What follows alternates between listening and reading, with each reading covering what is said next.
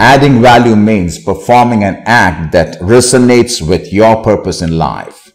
The bigger the purpose, the bigger the value you add. Adding value is what leads you to grow in your life and career.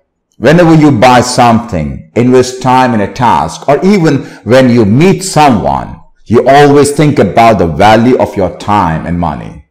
You will be happy only when the value is higher or equal to the time and the money you spend on it. That's how we mostly decide things in our life.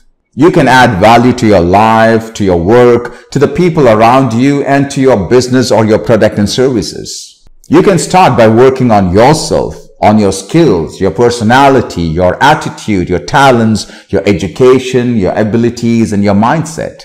Become better each day and become more valuable. The biggest question you need to ask yourself is, if you had nothing to offer, how would you add value? A wise man once said that you should work harder on yourself than you work at your job. If you're not working on yourself, your work will suffer. It won't be better unless you improve yourself. So keep adding value to yourself. Become more valuable so you can add value to others. Strive to become valuable each and every single day by choosing to do things that are aligned to your purpose in life.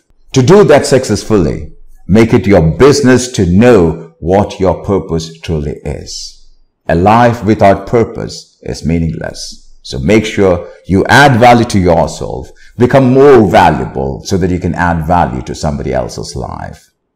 Thank you very much. This is Dr. Farookh Sensei from farookhsensei.com.